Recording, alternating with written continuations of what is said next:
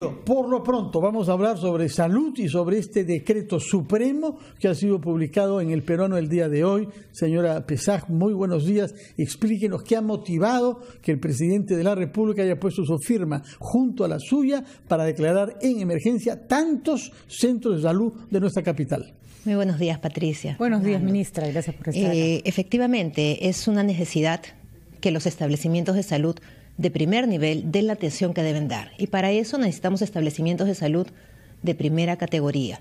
En los últimos años hemos visto un deterioro de los establecimientos de salud progresivo y no se ha invertido en los establecimientos de salud.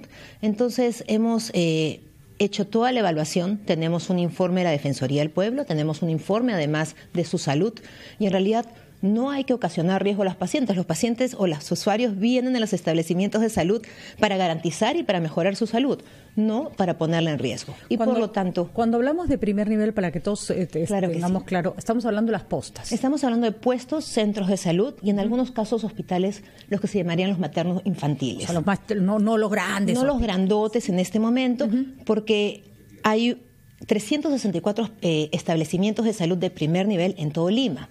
Y de estos hemos seleccionado 196. Y me van a preguntar por qué.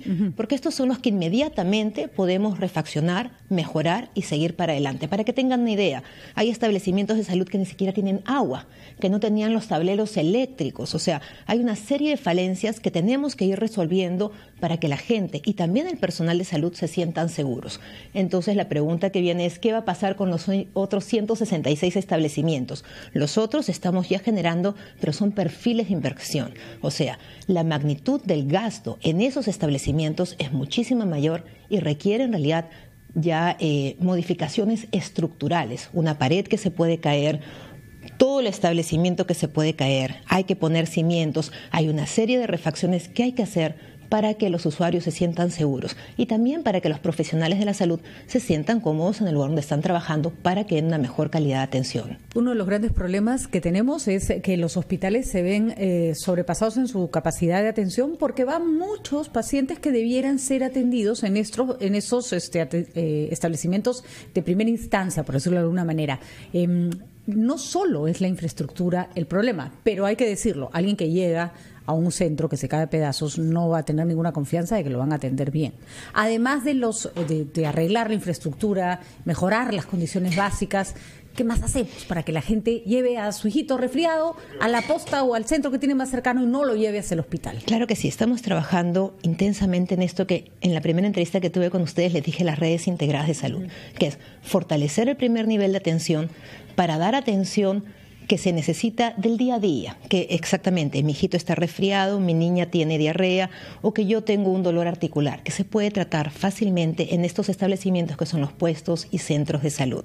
Ahora, quiero decirles, eh, esto va acompañado, y ya estamos modificando, pero toma un tiempo, de normativas para que los profesionales de la salud también puedan trabajar en diferentes puntos y puedan, o sea, que puedan ir rotando, por ejemplo. Pero además hay normativas de cómo hacer las cosas y flujogramas de atención, justamente para que no se se desborden los hospitales, que tenemos muchos en Lima, pero están desbordados de gente. y progresivamente hay que además empezar a educar a la población, que sepan que esos lugares son sus lugares de atención y son lugares seguros para ellos, son sus clínicas. Que eso en algunos lugares sí sucede, pero en otros no. Por supuesto, porque además un niño que se lleva a un hospital puede terminar eh, cogiendo alguna infección más grave que, el simple resfrío que tenía, ¿no? Los hospitales están llenos de virus y de bacterias porque están llenos de, de, enfermos.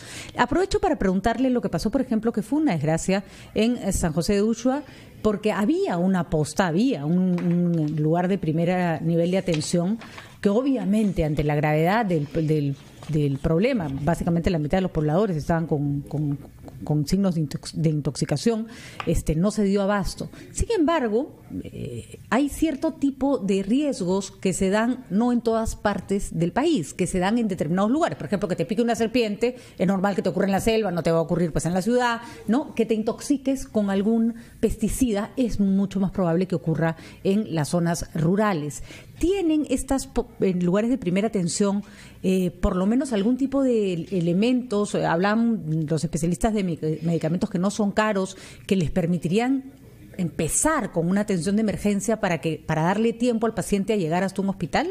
Eh, ¿O eso también está desatendido o mal articulado? En, en este evento tan dramático, porque fue dramático realmente, de San José de Ushua, eh, quiero decirles de que efectivamente hay puestos de salud en las diferentes caseríos, son 10 por lo menos diferentes distritos de, y hay un hospital central, es un hospital pequeño en el centro, el de pausa. Para llegar de un lado a otro por carretera son cinco horas. En eventos así de masivos, donde es en un distrito y hay que llegar en una, en una carretera de trocha hasta el lugar donde pueden atenderlo, con todo, con todos los, eh, vamos a llamar, soporte, porque no en todos los establecimientos, y yo he estado ahí el fin de semana, no en todos los establecimientos hay suficiente personal para atender a suficiente, a esta cantidad de gente que fue realmente importante. Entonces, bajo esa lógica, sí hay medicamentos, primero quiero decir esto, yo misma he estado en el mismo puesto de salud de Ushua y sí hay, sí hay medicamentos. El problema no es los medicamentos, es cuánto puedes manejar una situación en un evento masivo. Y por eso es que inmediatamente nosotros mandamos a nuestra Dirección General de Emergencias y Desastres en acción conjunta con el gobierno regional. Ahí hubieron también, o sea, tenemos que decir que inmediatamente cuando fue, fueron dos días, dos días en un evento masivo, pues ya pasa el pico y tenemos que eh, reforzar esa acción. Y por eso mismo ya hemos conversado con los alcaldes esta semana que estuvieron en mi despacho y eh, hemos acordado, aparte que les mandé médicos, o sea, ya tienen ahí en ese momento médicos quechohablantes, porque también eso es otra necesidad, no puede ser cualquier médico, Así es. tanto médico general. el tema es importante, si nos puede acompañar una breve pausa, lo vamos a retomar después para saber qué se sabe también de los análisis toxicológicos claro que, se sí. han hecho. Primero una pausa.